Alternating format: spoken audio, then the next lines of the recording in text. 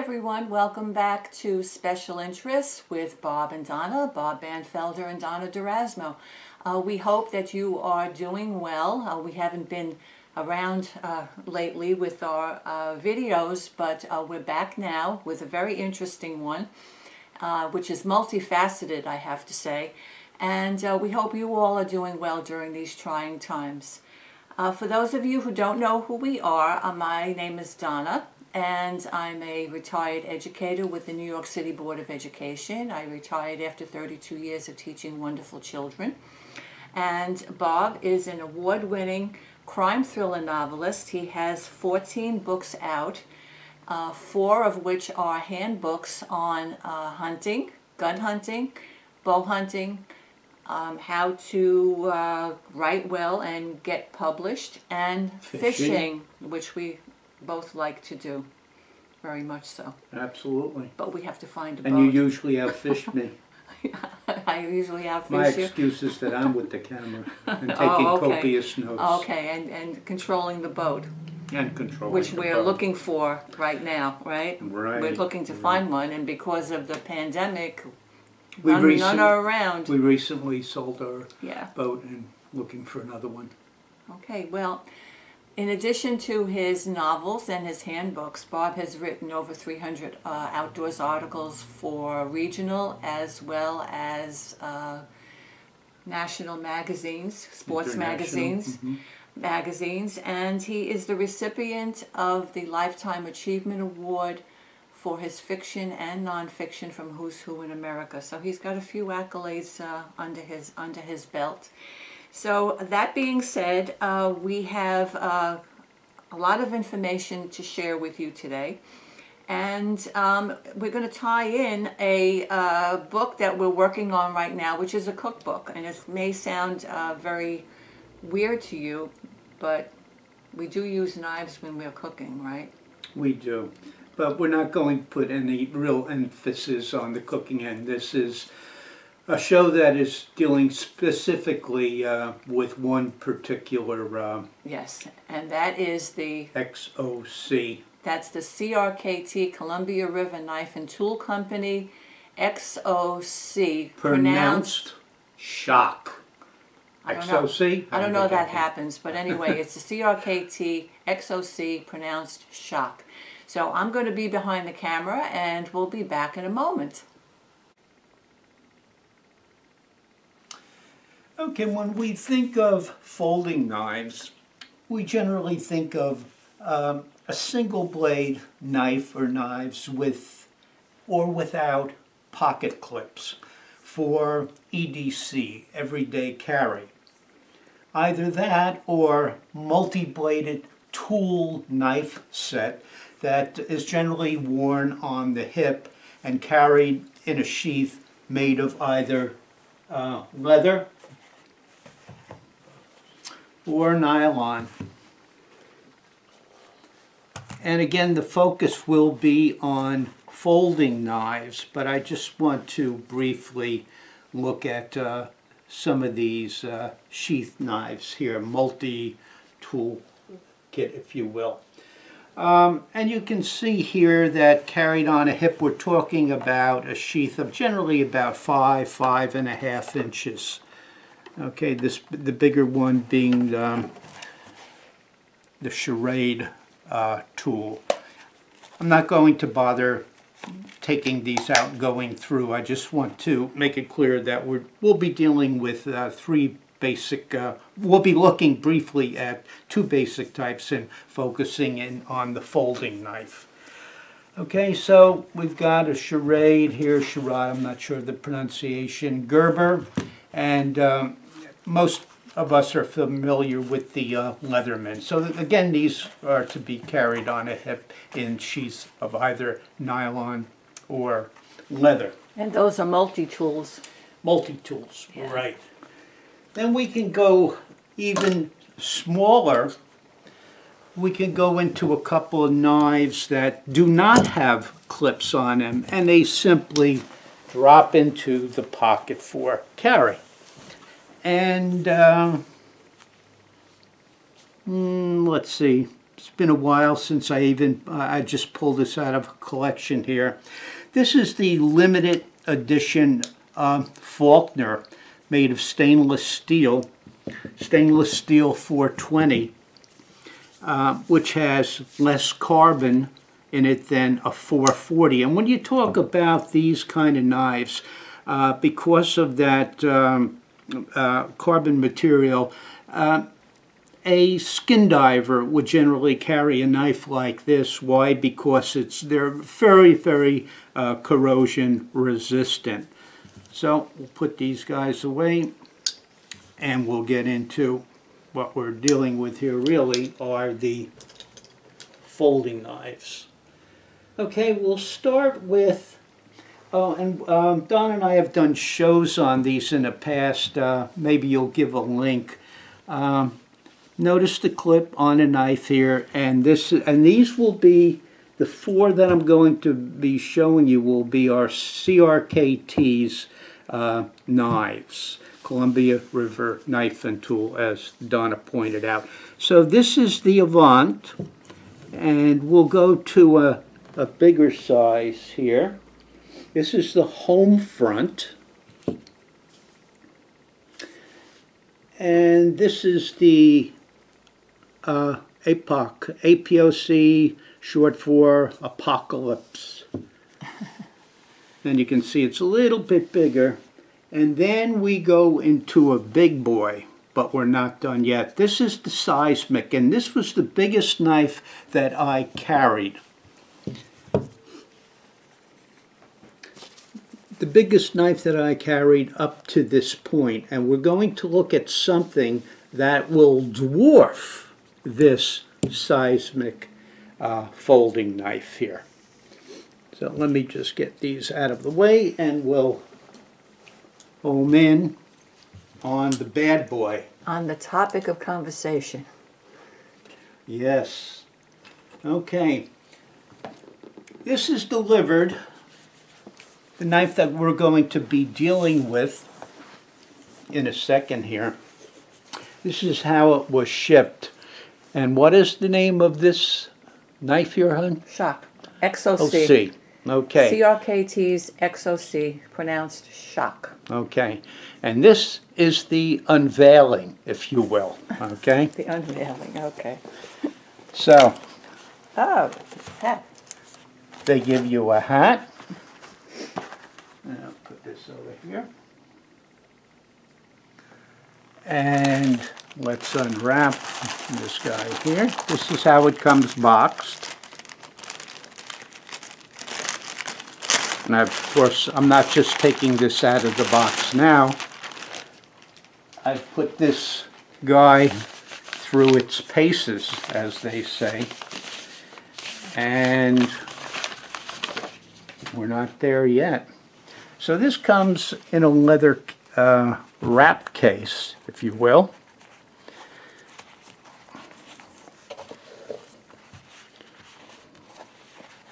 Ta-da! Ta-da. Okay, Nice protection. nice protection. And here is the knife.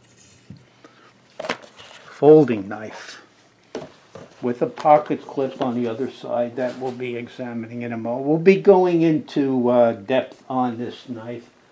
This is what this show is really all about. So here's our bad boy with the um, pocket clip. Okay. And note, let's do a comparison and note the difference in size. And Don, I'm going to leave this out here for a while so they can see this again. This is the biggest knife that I carried. And um, what, Donna? I'm move Just- over a bit. Okay. Don't give me hand signals because I can't follow. Just tell me what you want me to do here. Okay, there you go. There you go. All right. Much bigger. Now, we'll be looking at um, lock system on this knife. We'll be getting into the, this particular knife uh, pretty deeply. But again, just look at the size. And some of you are going to say, oh, come on, Bob. You're going to carry this in your pocket? Well, I'm going to be explaining something in a moment here, and I what I want you to listen to, what I want you to hear is the gospel according to Bob Banfelder.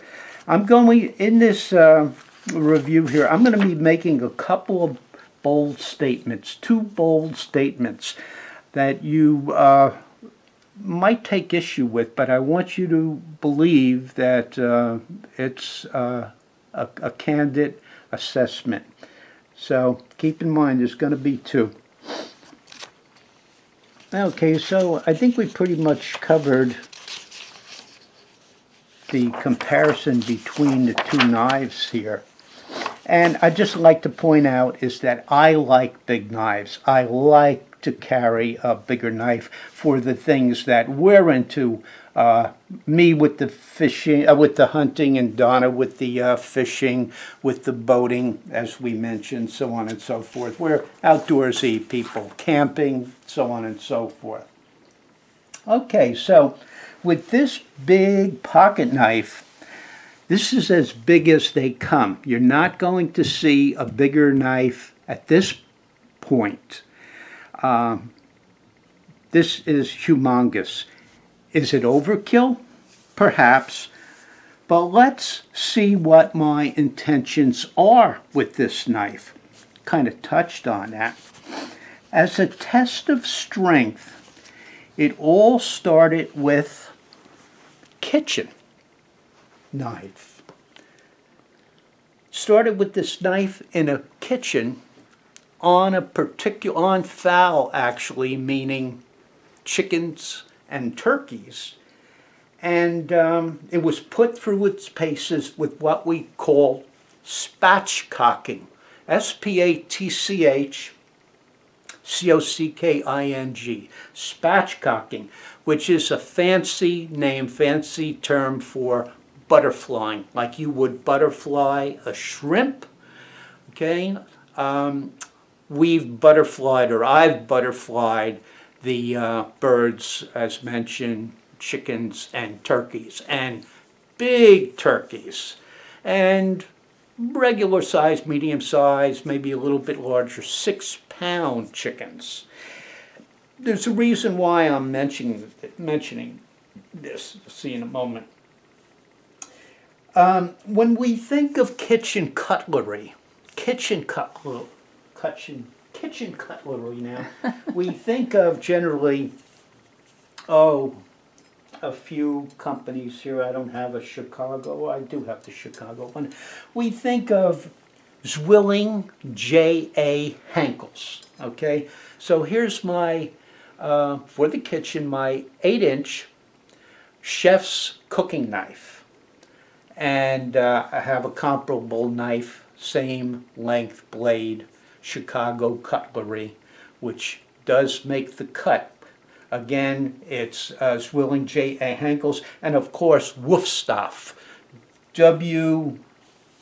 Um, U. Hmm. S T. S T H O F with umlauts over the U.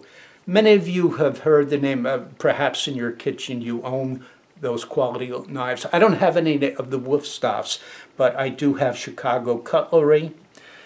And uh, of course the more expensive uh, Henckels, the uh, Zwilling J.A. Henckels. Um, and now I'd like to introduce you to, more thoroughly, this bad boy here, and I'll put this aside for the time being. And I'm going to deploy this big guy with the flipper over here. And um, if you're familiar with the seismic, the magic to its deployment, back to the seismic, is what they call IKS, uh, IKS bearings in here, uh, ball bearings. Um, this has been in abeyance for a while. Uh, we'll get into um, lubrication of knives, and all that business. But for a knife this size, look how effortlessly I open this guy. It is a very, very uh, powerful knife. Closes nicely too.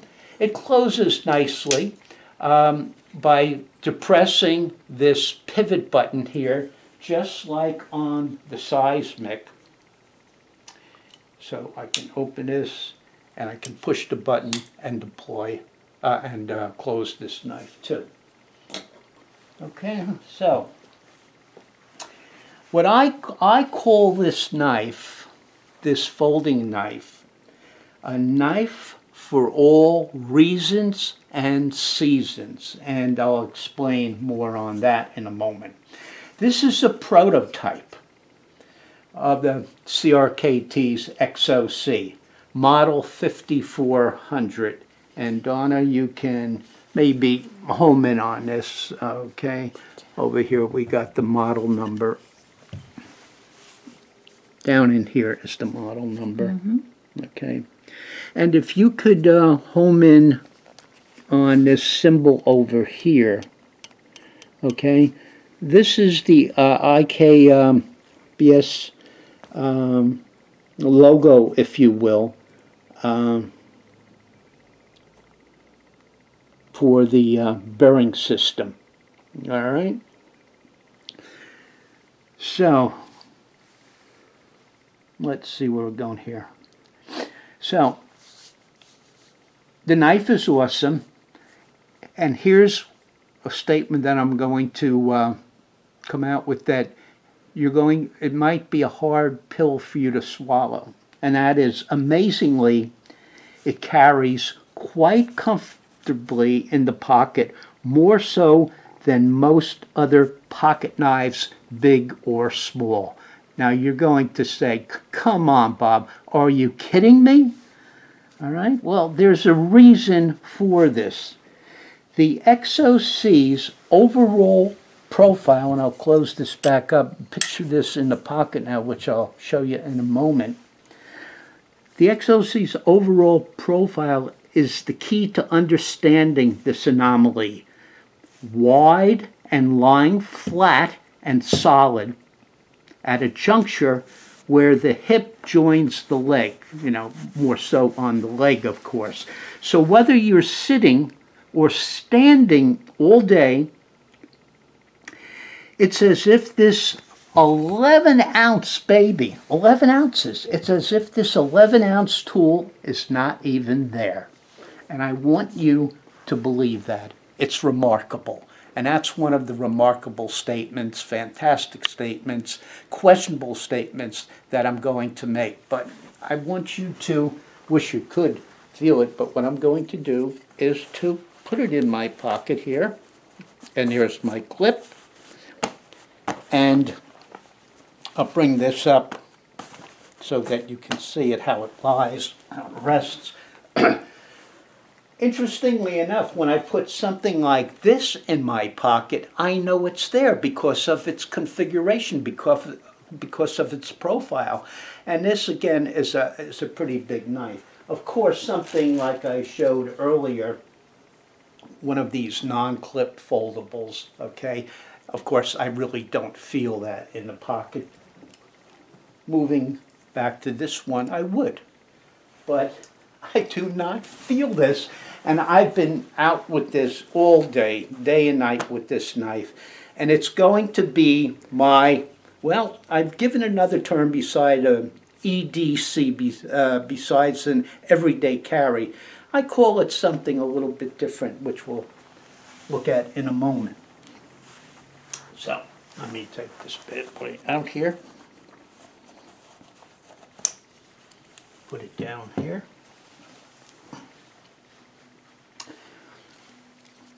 Now, I mentioned spatchcocking. And spatchcocking is the removal of the backbone of fowl. And there's a reason why we do that in cookery. Removing the backbone from chickens or removing the backbones from say a 20 pound turkey, spatchcocking. Then pressing down after you take out that bone, say with the chicken, as you're going down the spine along either side, you're taking out the backbone and down here the tail. Okay? You take that out, and then you would press down on the back of the bird with the palms of your hands and you crack the breast, flattening the bird even further to open wide the cavity so that the chicken will cook faster and more evening uh, and more evenly. And here's an example. And this is like right on the money, and we've done it twice with a 6.30 pound bird, chicken. Example, one hour, actually it was one hour and three minutes, one hour versus three and a half hours of cooking uh, the chicken the conventional way without spatchcocking. That's quite a savings in time. That's all, there's a two-hour savings roasting with the two oven hour going. savings roasting. Now, of course, when you open up, like the, you've got this ball of a bird, if you will, but once you open up its cavity, flatten it, you know, take out the backbone, flatten it, you have to have a roasting pan that does what? That accommodates the size of this uh, flattened uh, bird right now, be it chicken. Can we do this turkey. with the goose that you hunt for? You can absolutely, you can do it with fowl. You can do it, as a matter of fact, I don't really want to steal thunder away from you and your duck. Nobody makes a duck like Donna. Donna, and that'll be in a recipe uh, when this book comes out. Donna will be talking briefly, briefly about that again because the focus is not on the uh, on kitchen cutlery and all that. But I just want to show you that that can do that. That can take this can take the backbone out of a bird. Now, we're not going to be. If I was at a campground or some that that would be a different thing. But of course, I'm not going to be uh, taking out the back uh, backbone of a bird generally with this in the kitchen. Again, campground camping. This is a very versatile tool. So what I do use, of course, well, maybe not of course until I explain it here, is a pair of uh, kitchen scissors. And believe me, I'm going to be very honest with you here. When you're trying to take out the backbone of a uh, six pound bird or a 20 pound turtle. Let's just stick with this six pound bird for a moment. This, you know how the skin, skin is very slippery, and you will be doing this. Maybe you'll be using two hands to get up once, and a lot of strength to get up one side alongside the backbone of the bird and then the other side. Of course, to make life a little bit easier, uh, not a pair, but a good pair of poultry shears is the magic. So this will be uh, exerting a lot less effort. You will, you still may have to use that, but it'll be considerably, consider, uh, considerably um, easier. And you can see this one. This is uh, talking about uh, getting maybe confused with it. This is OXO. Uh, some of you are familiar OXO. with this brand. How do you pronounce it? Oxo. Oxo? Oxo. Um, very, very good kitchen scissors and very, very good poultry shears. Okay? But now, if you do some Googling and check this out and or the seismic, you'll see in promotional videos, if you will, um, that they baton, they baton wood, they baton limbs, they baton uh, small logs. And what batoning is, for those of you who don't know here, is to take, let's say that this is a log, and this is about the diameter of some of the logs that I've seen cut where I'm not going to do it with my beautiful knife here, but you could do it. But uh, again, I've done this with six pound point uh, three oh something chickens. So what you would do is, uh, for firewood, you're out in the woods, you need uh, some kindling or you need to chop up some logs, uh, small logs. So you bury this as far as you can, the edge of the blade, into the wood, and then you take a, a heavy limb or a block of wood and you start pounding, pounding this down into the wood, all the way down, all the way through until it splits. And you couldn't do that with some of the smaller knives here that I showed out, showed you, but you can do it with the seismic, and you can do it with this bad boy The XOC. because with the XOC because of its dead bolt locking system. Now watch when I turn these over. This is what I'm talking about. This is what I'm talking about. The deadlock bolt system. Okay, and what it is, there are two pins in here, one on each side, one on each side, and they they lock this blade in place. And the only way this knife is going to fail is if those pins are broken. Now, I have seen videos where they have driven this into um, a wood slab and people have pulled down on it or hung from it and the blade would not break. The blade would not be separated. The pins or i should say bolts on each side uh, are solid and they're not going anyway anywheres. It's almost it's virtually impossible to have this knife fail putting it through the abuse that i just mentioned okay so let's see what we got here.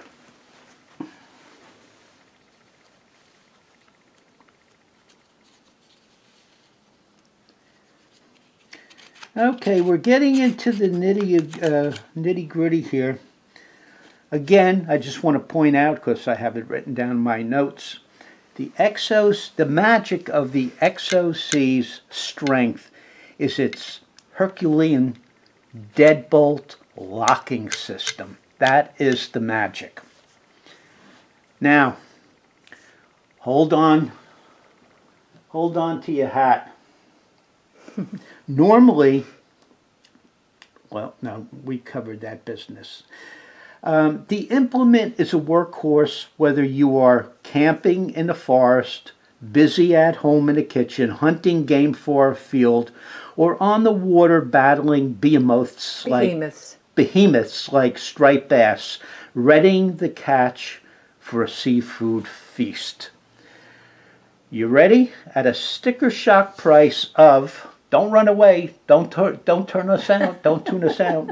At a sticker shock price, maybe that's why they called it shock Uh, too. maybe. Right. I It's seven hundred and fifty smackers, seven hundred and fifty dollars. You may tell me that I'm all wet. If that be the case, consider its younger sibling, the seismic, who will do practically the job of this.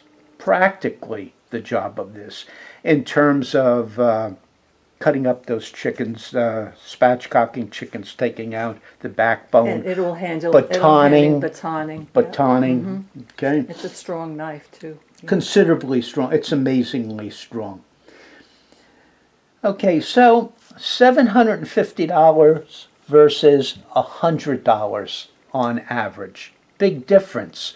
But what you're getting, again, we're going to be going over this in, uh, very, very uh, in very uh, much uh, Sure. detail.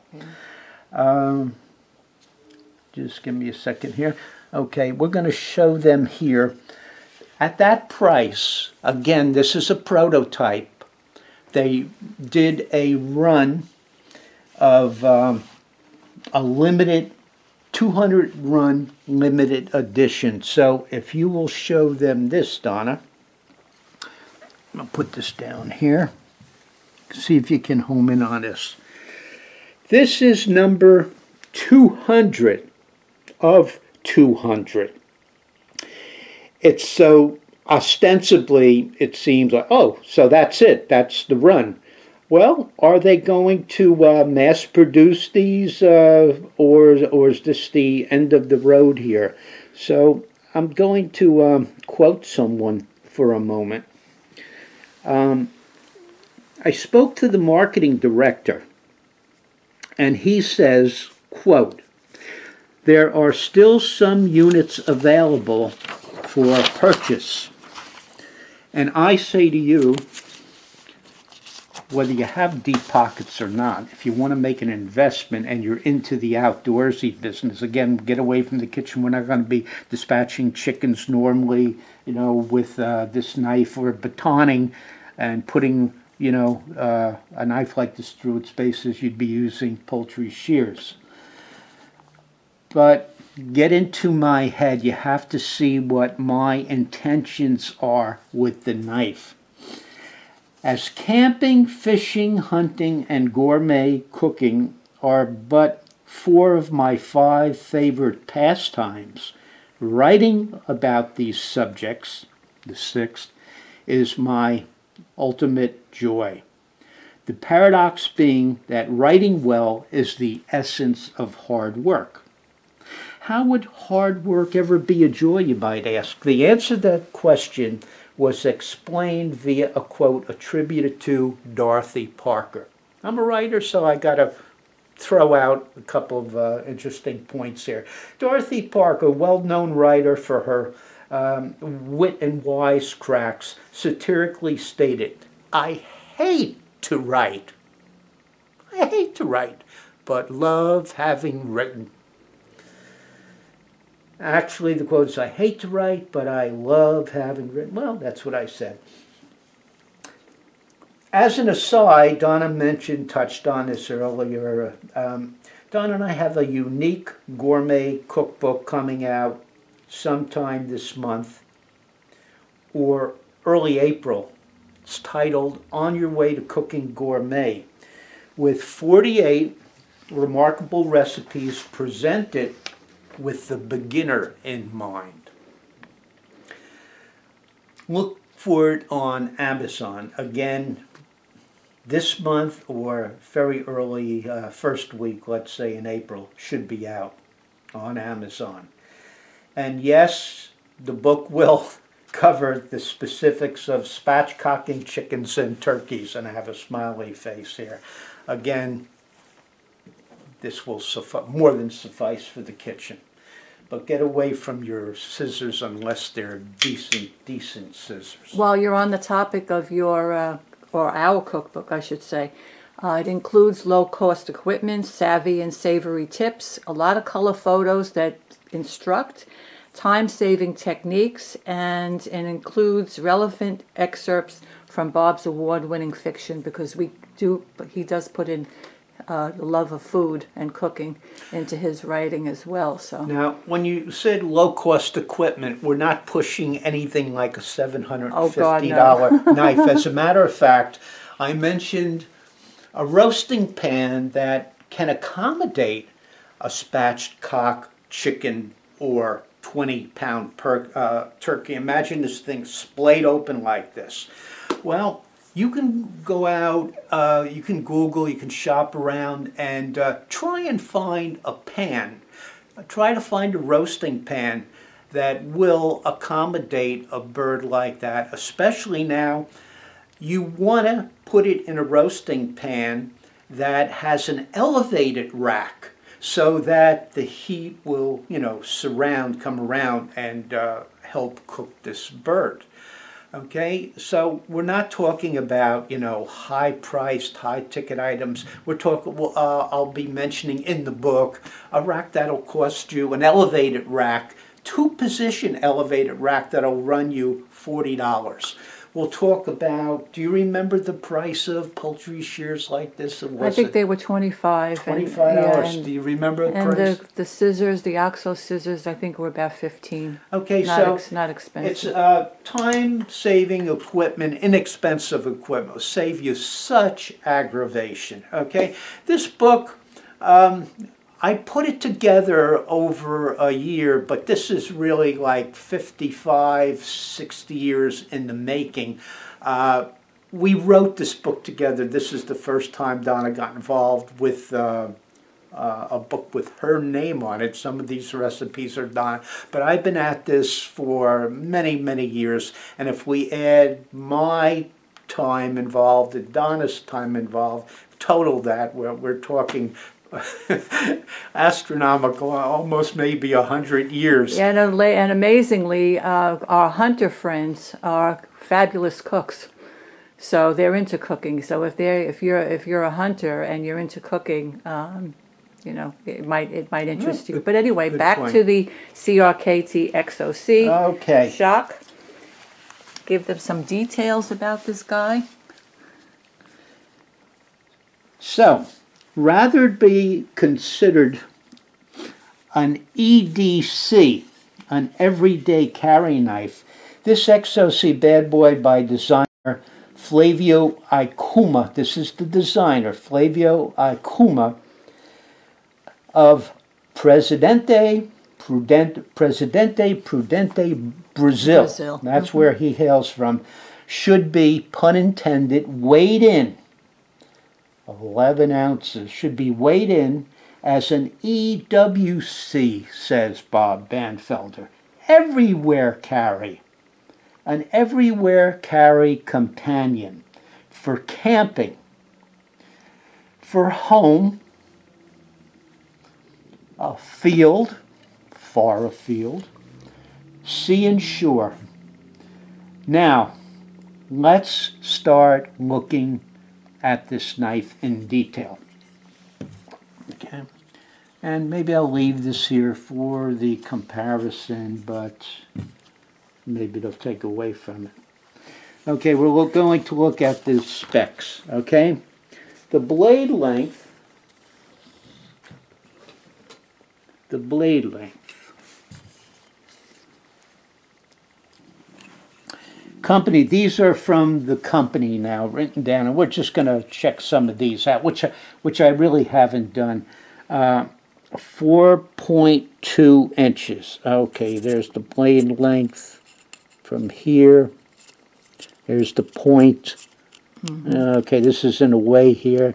Okay 4.2 you four. could see yeah. A little over 4 okay?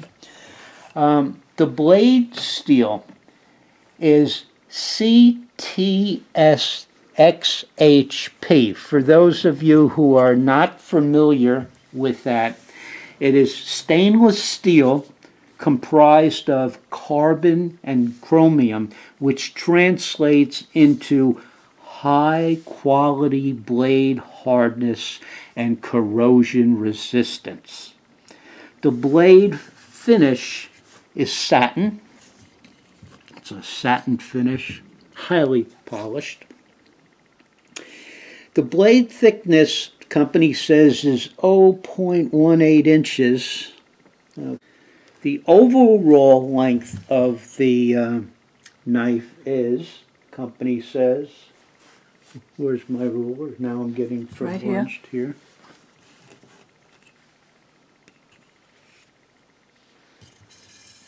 Overall length.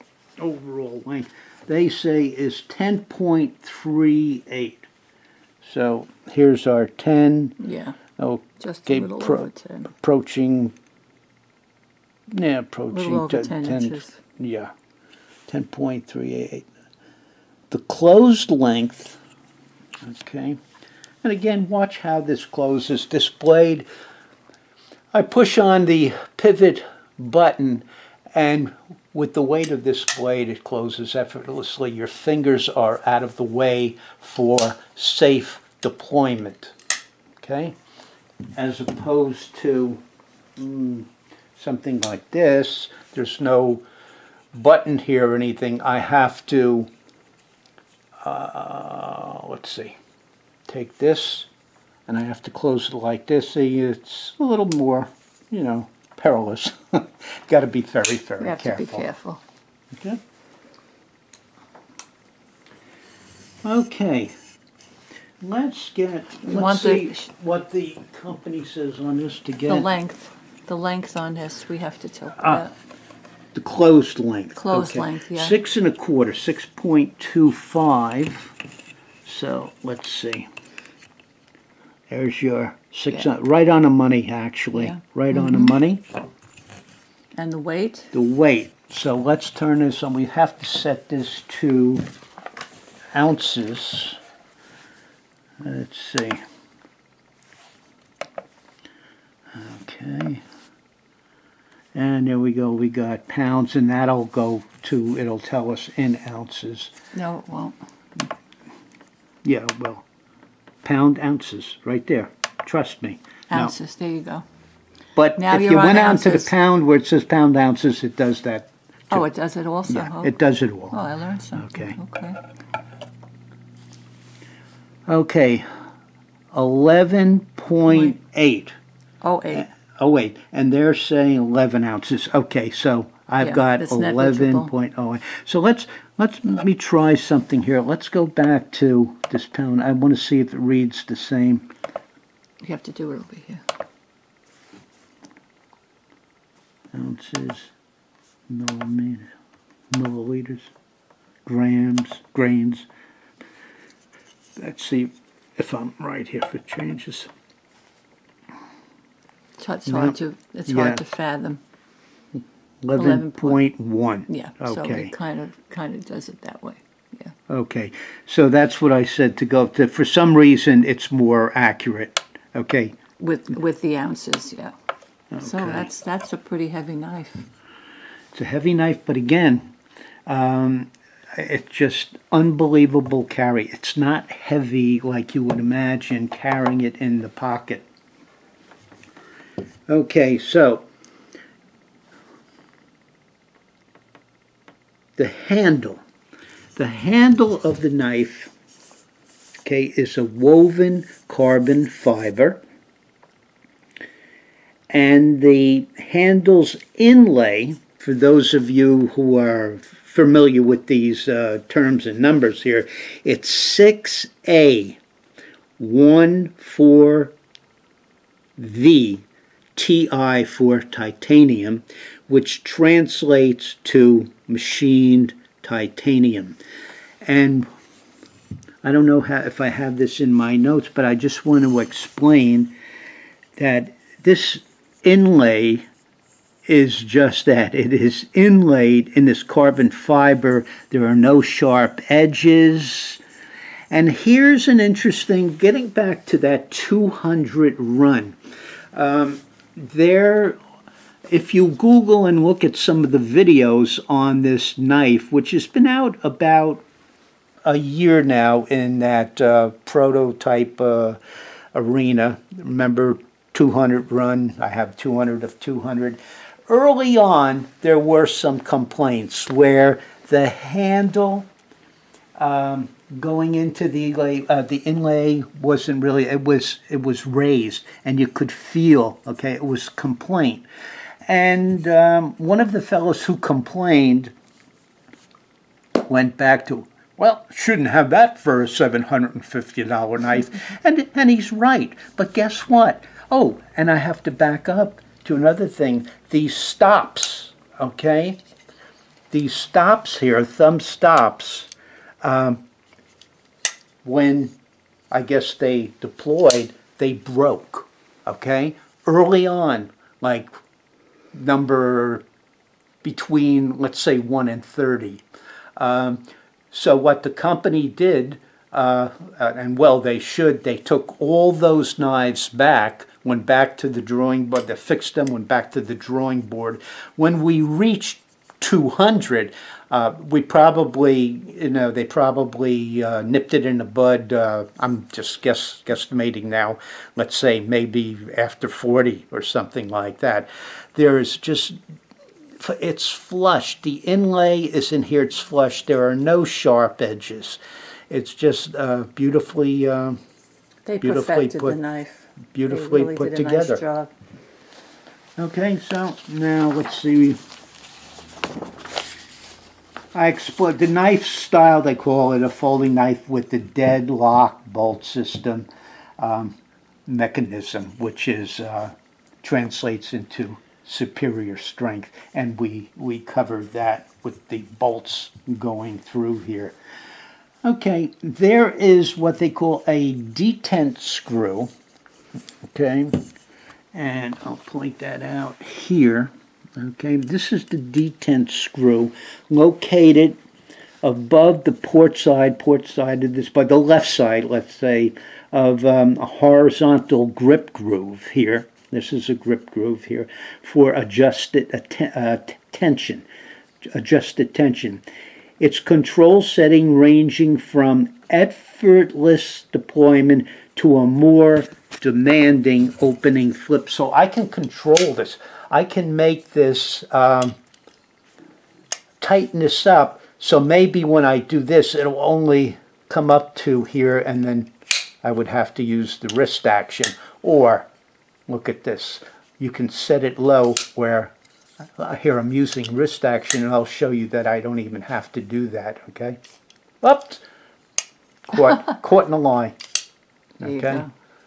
Just, uh, just amazing. Well, actually, I could back off on this, uh, going counterclockwise and make screw? this the detent screw, and I can make this, you know, uh, even easier to open. Okay. Now, I haven't gotten into really cleaning or lubricating this knife, and this was after uh, uh, spatchcocking uh, bird and stuff like that. So, you know, if I had this well lubricated too, it would probably even better. But this is no, uh, no, It's no effortless. effortless. And we talked about, I showed you the uh, logo here, that little design. Um, within the handle lies the IKBS, and that stands for Ikoma. That's the Flavio Ikoma, that's the surname, guy's surname, the designer. The Ikoma Korth, K O R T H, bearing system. That's what IKBS stands for. Ikoma Korth bearing system. Um, um, the pivot design magic is uh, for smooth and effortless deployment. We'll notice a brass collar going around the pivot button. That's a nice touch, aesthetically pleasing. We have the brass clip, pocket clip, and this for the lanyard. So when I'm on the boat, when we get another boat again, okay, and let's say I'm uh, gutting some fish or, uh, you know, filleting some fish, I could even do it with that cleaning, cutting up some fish. Of course, I'm going to have Some security. the lanyard going through here and it's going to be on my wrist because I do not want to drop. Not, not lose this in the water. Huh? You can safely close the blade with one hand by pushing the pivot release button, fingers safely out of harm's way. I just did that. The weight of the blade doing the work for you, or by pushing the button. Let's do this. Or by pushing the button with one hand and closing the blade with the other. So I'm pushing the button, closing it. So I can do it that way. I can open it this way, or I can open it this way by grabbing this cutout here and pulling this. Um, I think I mentioned these grooves that I was talking about. Um, this knife is so well, uh, it, it is uh, what did they Ergon- say? ergonomically Ergonomically designed. designed. Ergonomically designed. It truly, truly is. The way this fits in my hand, and I'm not a big guy, it's a big knife, but not a big guy, not a big hand here. It is just like so comfortable, right? Uh, then for, you know, like a reverse, it just it just fits in here beautifully. I won't even get into uh, protection, right? Oh, forget that. Okay.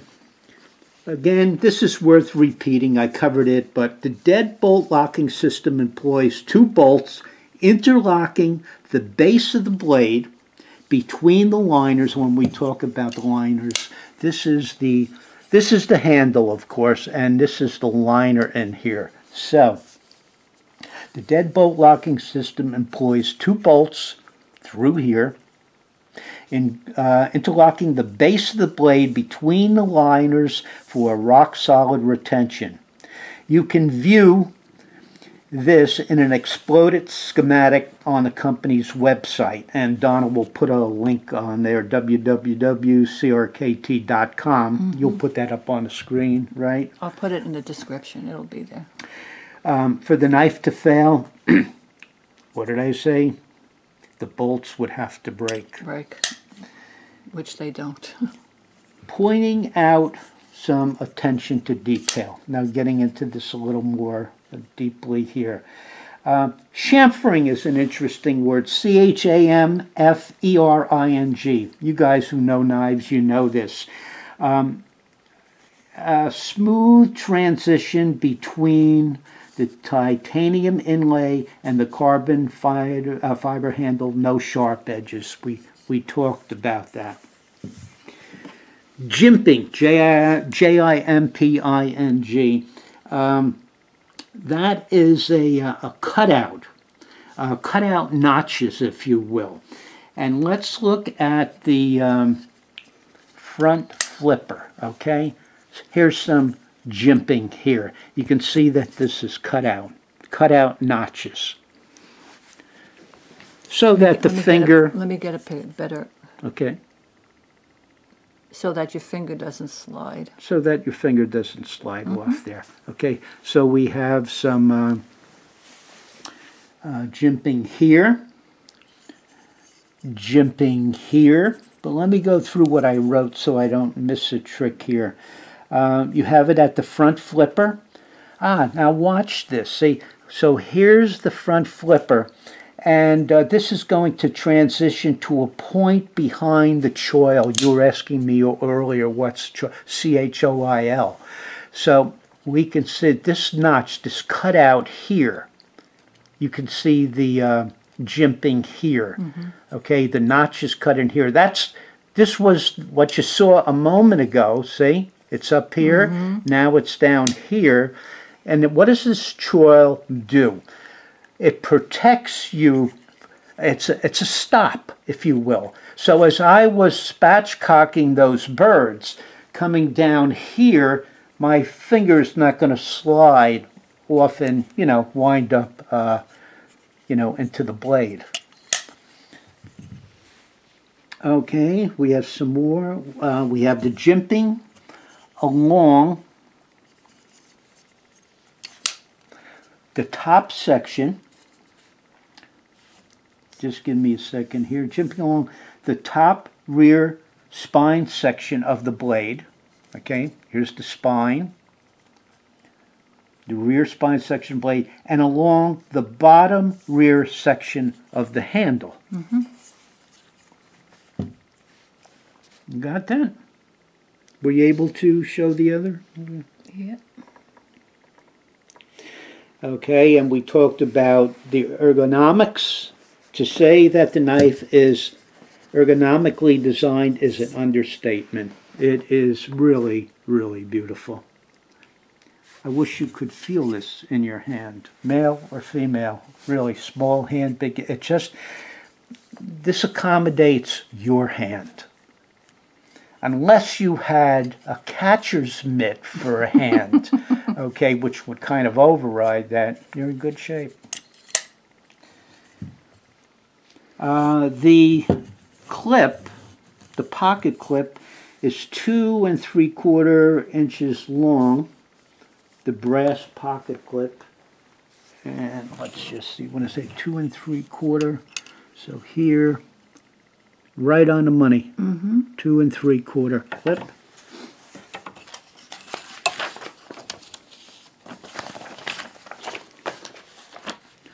You have three brass liner lock separators, okay, which is a nice accent against the uh, pocket clip here. You have these brass dividers. You have a decorative plate thumb stop studs, okay? And that's these guys that I was uh, mentioning. Maybe I'll lay this down or I'll hold this like this, Donna, so that you So can. what uh, am I focusing in on here? On the stops, Uh-huh. Gotcha. Mm-hmm. Okay? And um, why stops? See, they stop. They stop this boy, and these are your stops. Okay. They have an inch long cutout in front of the blade thumb stop studs for opposing hand deployment. Okay, Where is that? that is, where'd it go? Where'd it go? Over here. Right there. Okay, so again, I can deploy the blade or I could deploy the blade. If I grab it here, I really can't pull it out. It's here. And this is cut out so your hand does not slide off of here. You This grips, okay? You can pull that out very easily. Okay, now we're going to get into how this thing is, uh, how the handle is really put together. So, we'll talk about these things. Okay, these are Torx uh, screwdriver, a T-O-R-X screw, uh, screwdrivers, if you will. And all you need for most of your pocket knives are in sizes 5 to 8, 6 to 9, 7 to 10. Okay? And virtually all of these screws take a 6. Now, wait a minute. I have the wrong end. See how I set this up? I put these on here because it was kind of hard to read the inscription here. Mm-hmm. So what I did was T6 means that this is the 6 and this is the 9. So now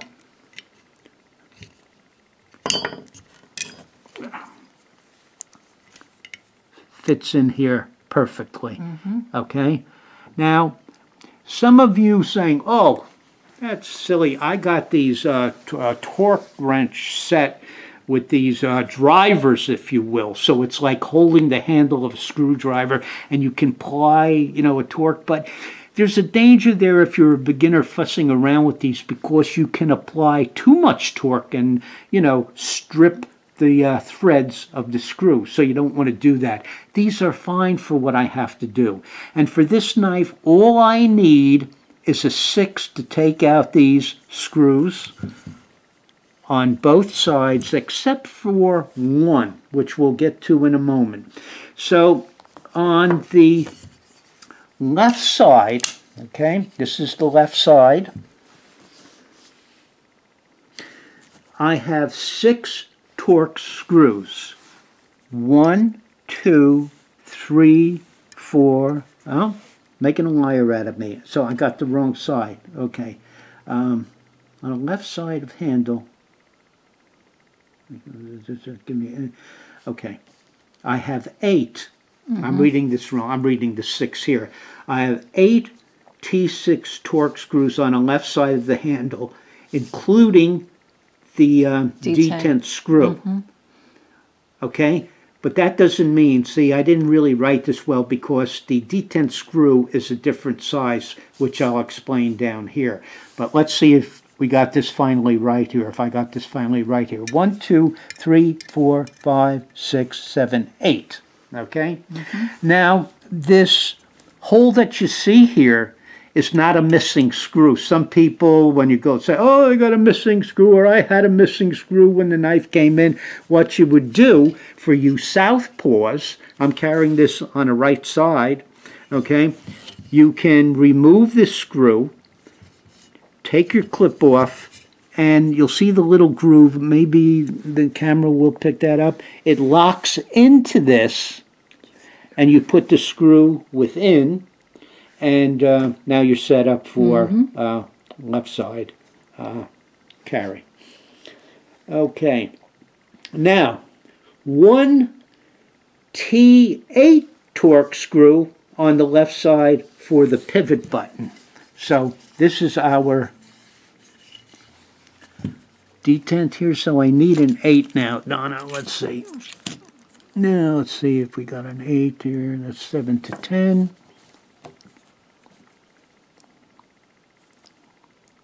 Okay, 5 to 8. So Okay, we ran out of memory on the card and we're back here again and just as well because I misspoke I have to back up to uh, the T6.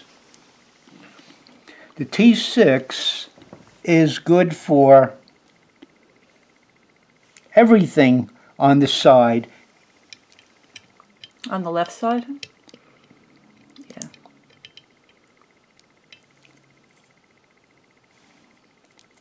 ah, T6 on the left side, as well as the detent. See how that's locked in there? Yes. As well as the detent screw.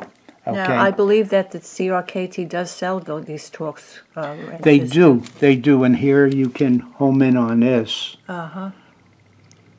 I don't remember Good what to it have. costs, but it's it's nominal. Yeah. But if you have those drivers, well, if you have the drivers for the Torx and you're into the knives, you probably know what you're doing and you're not going to use excessive force on the screws. But I just like this because I can't uh, over, you know, I could. I'm just not going to exert force. Mm-hmm. Okay, uh, torque. Uh, because you will strip screws like that. You can see how dainty they are.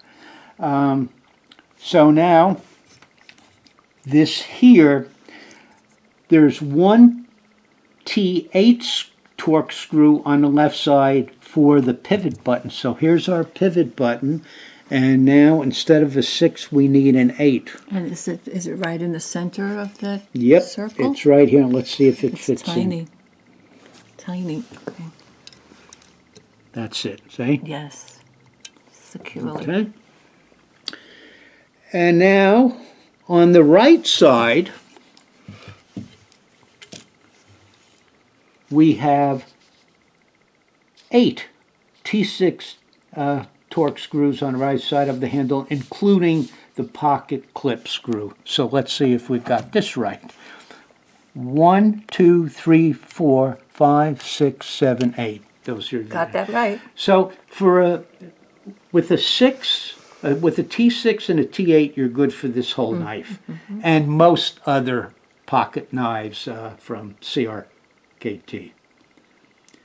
Um, and yes, again, some people. Oh, there were sites and uh, a company that was handling these knives and uh, said, "Oh no, it's not ambidextrous." No, I proved it to myself by actually taking it off and putting it on the other side, and that's what some people. Oh, missing screw. That's not a missing screw. That's where you would put the uh, the clip. Okay. Uh, and I'll just repeat this again. And yes, the pocket clip is ambidextrous for you southpaws out there go for this serious knife now, because I don't know how many really are left, whether or not you have bottomless pockets. Ha, pun intended, smiley face. Um, you'll thank me in the short run. Now we're going to talk briefly about care and maintenance of pocket knives and knives in general. Whether it's a $750 knife or uh, I don't know, under a hundred dollar knife. when it comes time to clean and or disassemble pocket knives, it be wise for you to have on hand the following tools and basic materials so as to keep your knives in pristine condition. Considering the above mentioned $750 XOC price or the $100 seismic model price, you want ultimate protection. So here's a short list, and then we're done, so don't go away. It's a short list, I promise.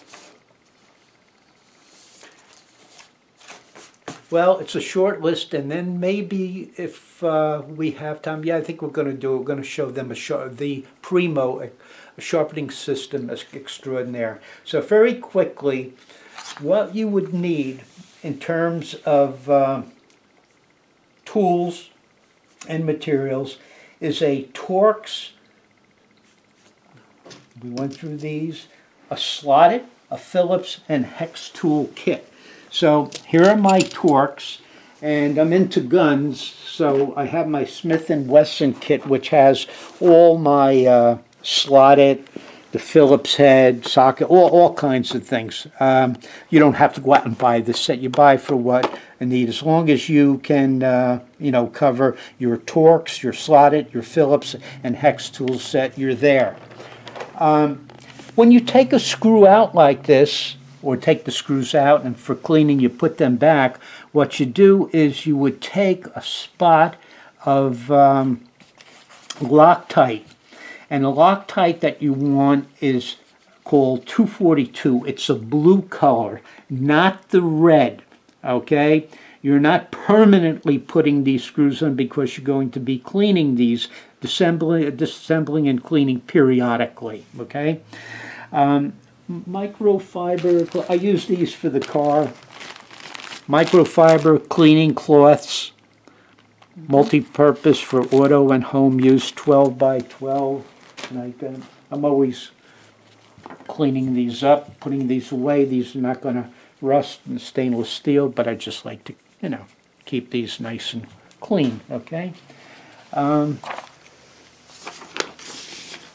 again, because I'm into guns, I have cleaning patches for my guns, and that's what I use. I found them to be very good. If you use another kind of a cloth or a paper towel, all those fibers are going to, uh, you know, some of those fibers are going to, uh, mm-hmm. you know, come off. And these, these are what you want. You put your oils on here, and we'll talk about that in a second, okay? Um, a good cleaning agent is your isop. Uh, how do I pronounce this? Isopropyl alcohol. Isopropyl alcohol. Isopropyl alcohol.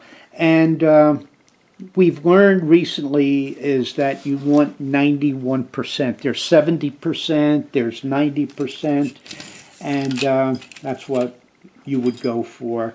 You go to your, you know, supermarket, pharmacy, it's very inexpensive. Now we get into nano oil or oils uh, for lubrication. You can drive yourself crazy. You can spend a, fortune for these oils, and they'll tell you you need A, B, C, and D, E, F, G, H. You don't. Okay. What I'm the list I told you list is short. Really, the oils that I'm going to mention, I think there I have four here, and you're covered. You want Nano, N-A-N-O. It's, it's one of your better oils, okay? You'll find cheaper oils, but it's not just worth the savings.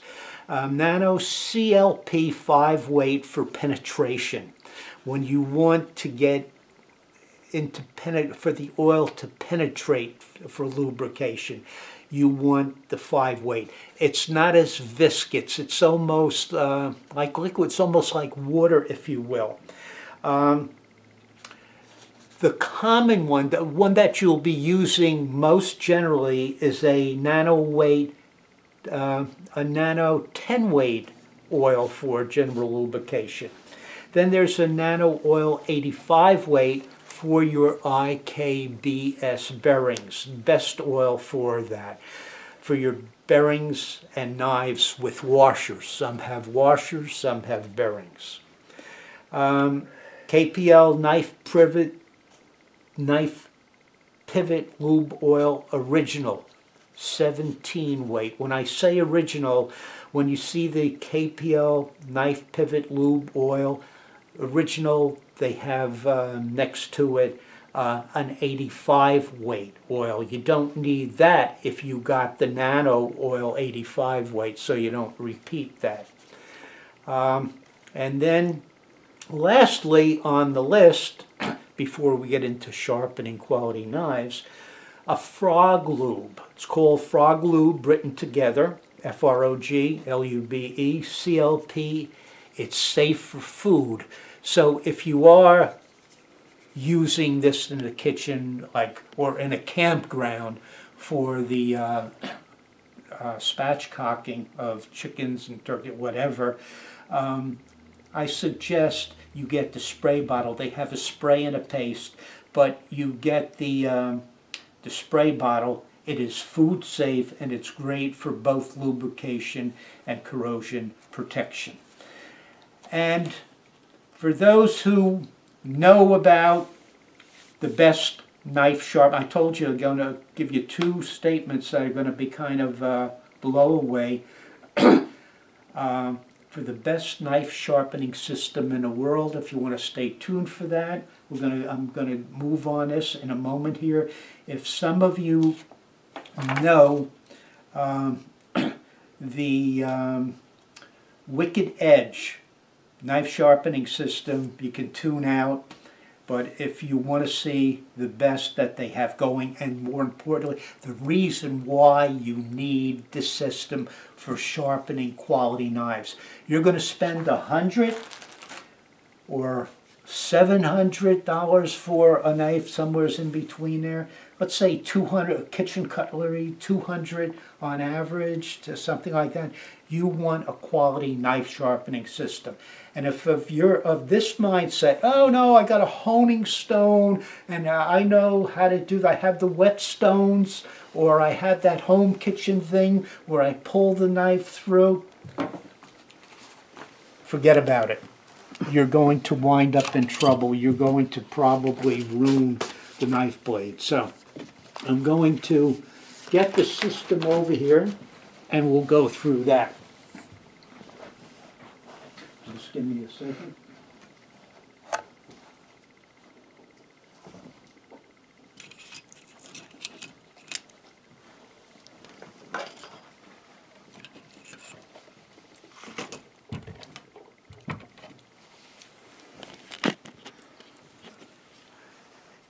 If you notice, well, here's the blade with the serrations, but take them, well, I've got to put away. If you'll notice, generally speaking, the blade comes around and there's no dip here. But when I'm scotch, uh, spatchcocking chickens or, you know, turkeys or something, the way this thing kind of is indented, it just cuts and glides uh, right up to the choil, uh, if you will, in, in front of the uh, flipper here. Uh, it's safe, your hands are out of the way. But how do you sharpen a baby like this? Unless a bad boy like this, if, unless you're really into honing with the whetstones and all that, this can be a little bit tricky. Okay, um, so it is an anomaly. This dip here, this gradually, this gradual sweep. But if you have a system like this, you're going good to go. And this is the Wicked Edge A um, WE 130 with uh, diamond Donna, stones. See, Donna knows. Donna knows all this stuff here. Okay, there's another one with serrated. Let's take this one. This was, uh, well, it is my fa- for, for very, very small knife. This thing is like unbelievable, but you can see that the um, blade, the beveled edge, is uh, continuous here. There's no dip or anything like that. But if you're going to get into a knife like that, how do you sharpen this, okay? You would have no problem. You would have no problem locking this blade in and sharpening it, okay? And rather get into the whole thing, because I we did a video on this. Donna, give you you I'll give them the in the link to that. yes. So if if you want to, you know, either do that in your leisure for the full view, I'm just going to give you a, a quick overview here of this remarkable, this remarkable uh, sharpening system. Having sharpened scores of knives over a period of years, I learned the hard way that quality knives must, not should, must be sharpened with a manually operated, angle guided, manually operated, angle guided knife sharpening system for precision performance. And I truly mean that. Forget about those electric knife sharpeners, handheld pull through sharpeners, whetstones and steels. Steels called the rods, in other words. You would be wise to select the finest knife sharpening system in the world. There's my other bold, brazen statement, but it is. I realize the statement sounds like an extreme example of hyperbole. However, every word is true. Endorsed by industry professionals around the world. The Wicked Edge E W. WE130 model is a winner. Prices range from 575 to $1,250. Oh, I'm spending your money, 750 there. uh, you know, but, I'm telling you, I suggest the Wicked Edge WE130 Pro Pack 3. You'll get what you see here, less these. You can always add on to this. I'll explain that in a moment. Um, it's the WE130 Pro Pack 3 employing diamond grit honing stones. And I would go with the three pack. You get what you see here and maybe a little bit more depending uh, for 9.99. So between the 575 and the 1250, I would go with the 9.99 and get get it and be done with it. Unless you have been sharp, hand sharpening knives for years, diligently maintaining a specific angle for a particular knife in hand, chances are you are not going to sustain the angle and the rhythm, rhythm necessary to sharpen any blade with keen precision. Okay, so in other words, I have a honing. So let's pretend that this uh, that this is a whetstone, okay, and I want to maintain this angle and then do it on this side. You, can you be that precise? You're going to hold this at, say, this knife has to be sharpened at 22 degrees. Are you going to be, are you that much of a professional that you're going to be consistently holding it at the right angle and maintaining that rhythm? Come on. So here, They'll walk away. so here is they'll your walk angle away. Isn't I want to explode one second. They'll walk away with sharp knives. You will walk away with scary sharp knives. I'm sorry, Don. and these are the these are the angles that you would These are the angles, this control. See, I I have this set 20, 21, 22. But suppose I'm going to a fillet knife, a much, much thinner blade, and it calls for 15 degrees. I simply move put here, that here. the guide. Okay, I'm going to put this back at 22 uh, because generally speaking, most of your kitchen cutlery, like a, let's take that 8 inch chef's knife, okay? 22 degrees is a good point. But let's say you really don't know what the bevel is. I've had companies tell me, oh, no, you sharpen this. um uh, Henckels knife that we're talking about at uh, blah, blah, blah degrees, and then you put it in, let's say,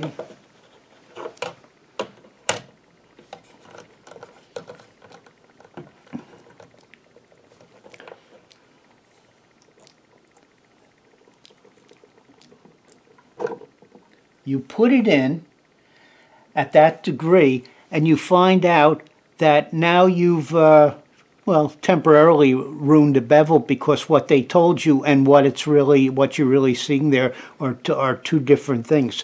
So the smartest way to do it is to take a magic marker and color this out, okay? Color this. And then They're coloring the bevel.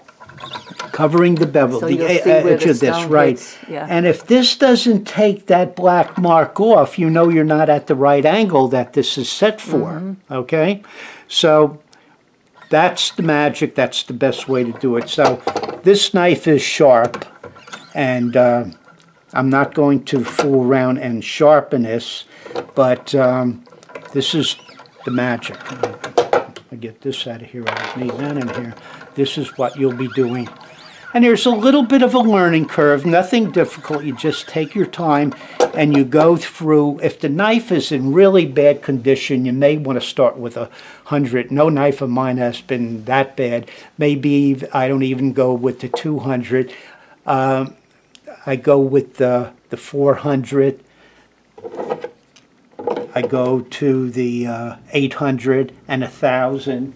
And then for something like this, when I get through with this knife, even after having a spatchcock couple of birds, I would simply, and got to be careful in the beginning, I Be would say careful. wear those special gloves because you could get hurt.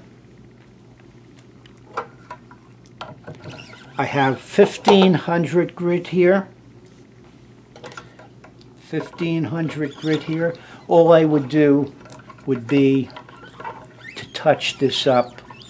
And when you start getting into like 1500 grit and this uh, fine lapping film, what you're doing is putting on that beautiful mirror finish on the edge. And can get that done. It can the light. Uh, you can, you know, see. show them the distinction between the bevel and the blade there. Yeah, hopefully they can see that. Take that guy out of there.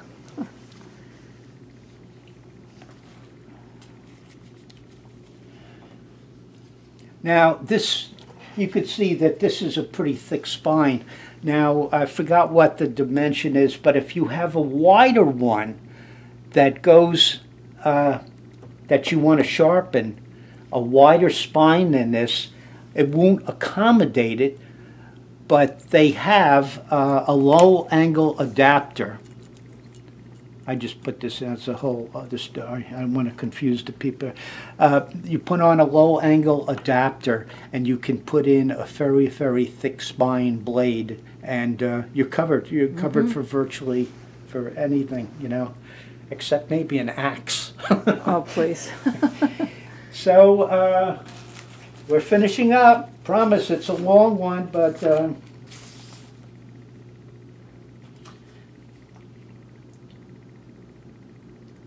Okay, we're doing that. With the Wicked Edge knife sharpening system, you are going to produce a scary sharp edge on virtually any knife in your arsenal. You'll be amazed. And that kind of wraps it up. Don, is there anything you see that I No, failed just to give, uh, address? give the people the, the website information for these products uh, in the description, and, um, okay, is that all you want to say, Mr. Banfelder? Well, I should show them. See now, this I'm going to put at a higher setting. I just want them to see. And I'm doing this quickly. What you do is you measure uh, your blade, make a little mark with a pencil, Halfway. and halfway. And let's say, let's pretend that this is halfway. Okay. You go to town. Okay. Mm-hmm. Very, very simple. Okay? Okay, that's All it, folks. Well, thanks for hanging in there. This one was a long one, so I have my work cut It's out the for me. longest one we've ever done, but I think that this XOC deserves the attention. It does, it does. The CRKT XOC is quite an awesome uh, folding knife. Uh, And the, if you don't want to spend the seven hundred and fifty dollars, you should really check out their other knives, which are really, really wonderful. The Seismic, the Avant, the Homefront, they're all they're all wonderful, wonderful knives. So until next time, we're going to say goodbye, and uh, we hope you stay safe and that you are well. And uh, thanks for watching.